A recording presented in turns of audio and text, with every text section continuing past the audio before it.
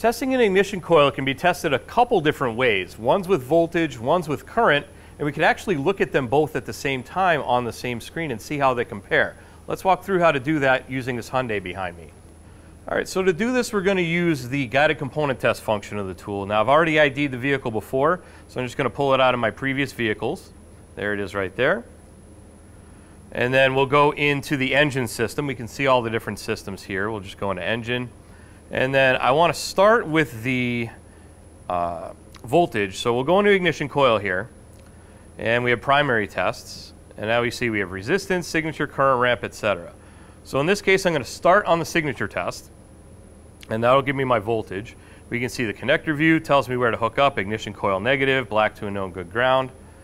Uh, come down here and it gives me a, a good waveform as well. We'll hit view meter and that'll pull up where my voltage would be. Now I need to also look at the current. So I have a current probe attached to the battery positive on here as well, but I need to add a second channel. So to do that on this Triton, we have up here, we have four arrows. If I click on that, it's gonna bring up my settings.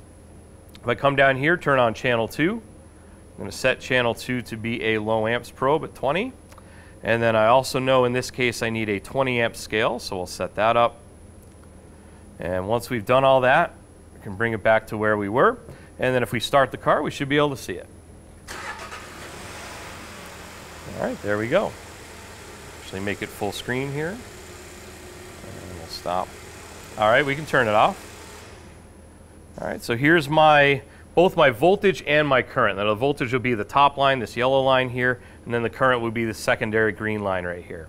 And we can see where the voltage comes in and then the coil is then grounded to start charging up the coil. We call that dwell. When the dwell starts, we can see as the current will start flowing in to the coil as well. Once the coil is fully charged and it's time to fire, we see the firing line on the yellow line, and then we see how the green line then goes away because all the current would have gone with it uh, out to fire across to the, to the spark plug. Uh, and then of course we see the firing line here, we see a couple coil oscillations there at the end. Uh, being able to see both what's going on with it voltage wise and current flow wise can help us understand what's going on inside that coil.